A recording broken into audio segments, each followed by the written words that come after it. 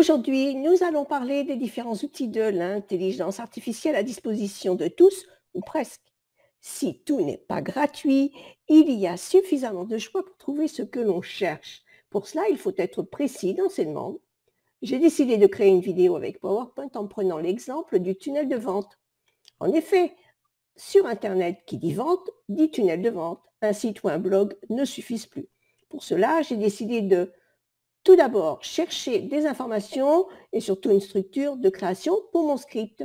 Ensuite, je vais chercher des animations pour rendre plus attrayante ma vidéo finale.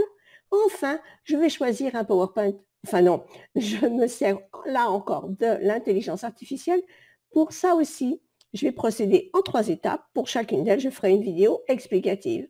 Il va falloir suivre la progression tout au long de la semaine. Allez, c'est parti, je commence par ChatGPT pour trouver les textes qu'il me faut. C'est parti, je te montre. Alors, nous voici sur ChatGPT. J'ai posé la question Bonjour, peux-tu me dire quelles sont les règles à suivre pour réaliser un tunnel de vente qui convertit en 10 points? Et voici ce qu'il m'a répondu. Bien sûr, voici les 10 règles. Et puis il me donne 10 règles importante et il me dit j'espère que ces règles vous aideront à créer un tunnel de vente efficace. Eh bien oui, c'est très sympa.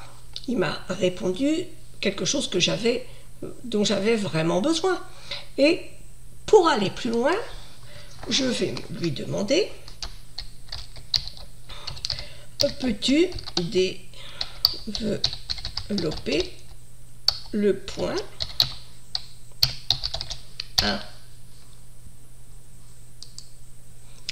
Alors, bien sûr, le point est très important pour créer un tunnel de vente efficace.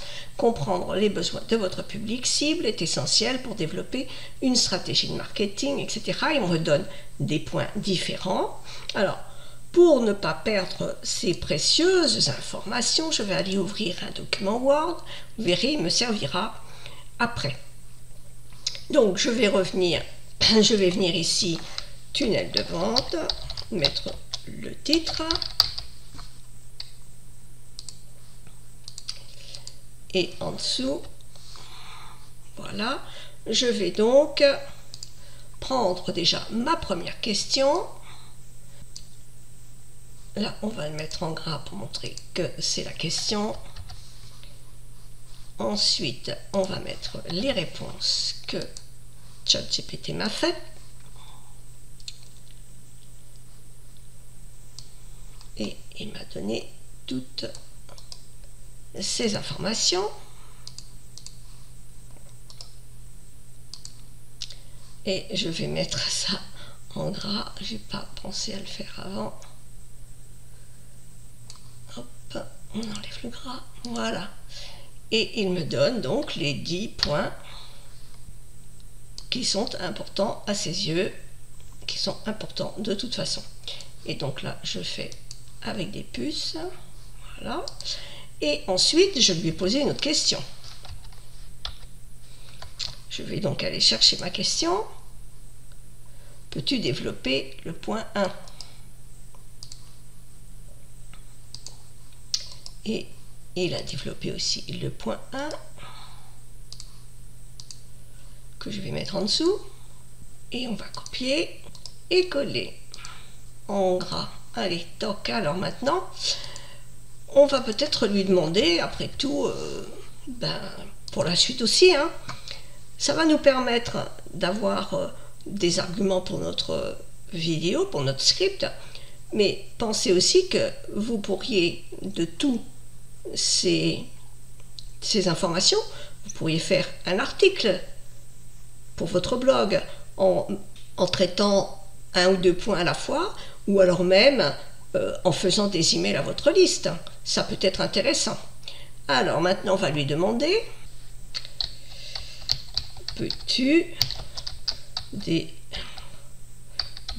le point 2 Et bien sûr, il va me développer le point 2 et je vais ainsi faire cela pour tous les points pour avoir vraiment un bon contenu. On se retrouve une fois que j'ai toutes les informations, puisque je ne vais pas rester là-dessus. Ça prend beaucoup de temps à faire et c'est toujours la même chose. Donc on se retrouve quand j'ai les 10 points qui sont développés. Alors, ça y est, j'ai mis sur un document Word toutes mes questions et toutes mes réponses, enfin les réponses faites par ChatGPT et il a bien répondu à mes 10 points que j'avais eus dans la première réponse. Alors on s'aperçoit qu'il y a des choses qui sont un peu identiques, par exemple les tests, mais les tests en fonction du paragraphe, ils ne sont pas forcément tous pareils, donc vous pourriez peut-être penser à faire quelque chose sur exclusivement les tests. Mais on va commencer, nous, par faire quelque chose qui va juste nous permettre d'utiliser eh bien, euh, le point numéro 1. Voici donc euh, le point numéro 1. Le point 1 est très important pour créer un tunnel de vente, etc. Et il nous donne quatre euh, sous-paragraphes que nous allons pouvoir utiliser dans un PowerPoint. Et pour cela, j'ouvre donc un PowerPoint. Je vais prendre une diapo vide. Je vais aller chercher mon texte par petits morceaux. Et donc on va recommencer avec euh, un titre accrocheur, tunnel de vente. On vient ici, on insère une zone de texte. Alors on va prendre ça par exemple, on va le mettre c'est un titre, donc on va le mettre en 54. On verra après en ça, en ça. On va le mettre en rouge et voilà. Et on va demander au concepteur de nous donner un modèle. Vous voyez, il y en a plein. Hein. Les règles d'un tunnel de vente qui convertit. On peut aller voir d'autres. Et on va se servir de ça tout le temps. Parce que du coup, ça nous évite de faire des recherches fastidieuses. Tout y est. Alors, on va pas se compliquer la vie. On va prendre celui-là. Que ce soit un peu en décalé. Voilà donc notre premier slide qui est fait. Il n'est pas animé, mais il est fait. On va donc maintenant aller chercher une deuxième diapo vide. Dans cette diapo, on va aller y mettre le deuxième point, le premier chapitre de notre point numéro 1. Et là encore, insertion zone de texte. Et on va demander au concepteur de nous faire une jolie présentation. Sachant qu'après, on peut changer, bien sûr. Allez, toc, on va prendre celui-ci. On va changer la police de caractère. On va enlever ça. Il faut que ce soit suffisamment visible, donc on va laisser comme ça. Une fois qu'on regarde le, la diapo, hein, c'est normal. Voilà, il n'y a plus de... Vous inquiétez pas pour les mots soulignés, parce que bien souvent c'est de l'anglais qui est pris en considération. Alors, nouvelle diapo vide. Et on va faire ça pour les différents points de nos réponses. On peut par exemple prendre nos quatre réponses. On va voir ce que ça donne. Papier. Ça va peut-être faire un peu chargé hein, pour euh, insertion, zone de texte. Coller. Voilà. Et on va donc dans le concepteur qui va nous donner des choses comme ça. Bon, regardez, il y a des choses comme ça. Il y a des choses comme ça. Comme ça. Alors, il faut savoir que toutes ces choses-là, c'est très sympa mais jusqu'à présent, c'est pas très, comment je pourrais dire, pas très lisible. Toutefois, on va pouvoir enlever tout ce qui n'est pas une partie des textes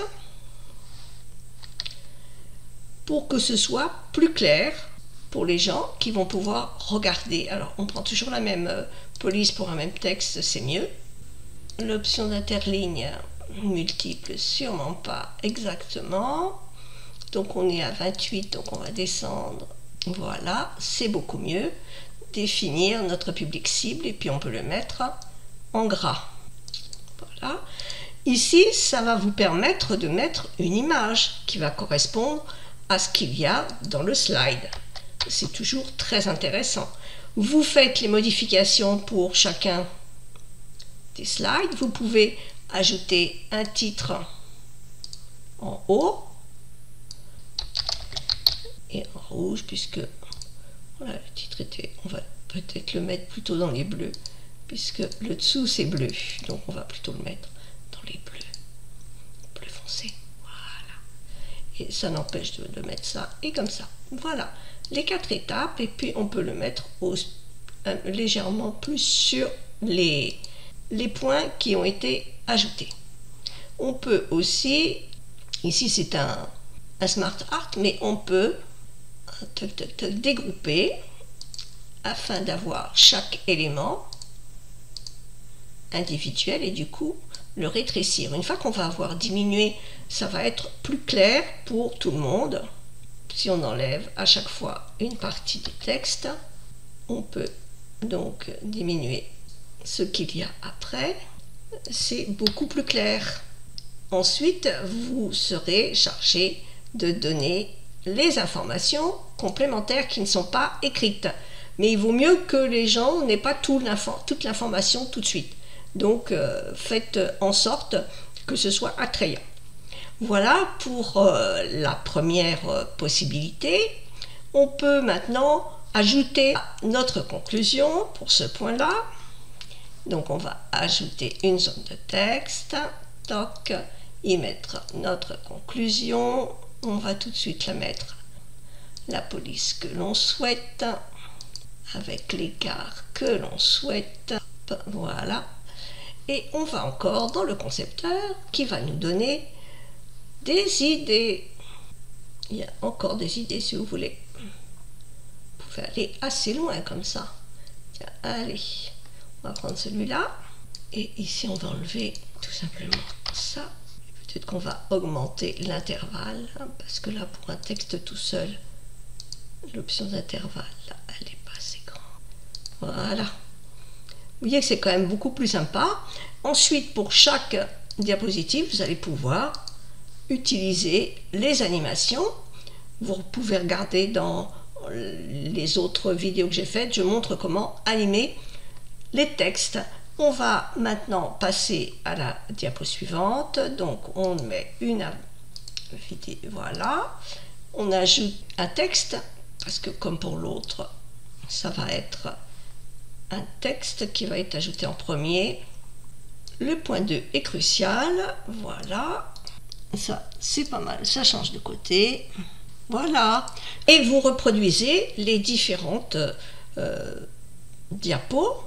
Alors, vous, avez à chaque fois le choix avec un, un nouveau look de vos diapos.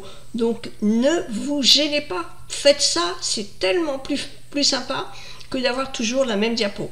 Et puis, lorsque vous avez quelque chose de particulier, eh bien, je vais vous montrer comment on peut ajouter un personnage qui va lire le texte avec la voix que vous aurez enregistrée, soit dans le logiciel, soit avant, pour développer les quatre étapes. Je vous montre ça dans l'étape suivante.